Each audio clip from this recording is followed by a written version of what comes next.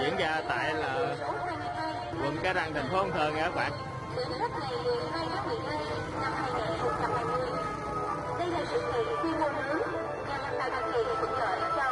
Đây mình sẽ đi một vòng cho các bạn xem các sản phẩm từ gỗ nha các bạn. Có ờ, những cái loại gỗ rất là đắt đỏ nha các bạn. Đây diễn ra tại khu đô thị mới Hưng Phú, Cần Thơ nha các bạn.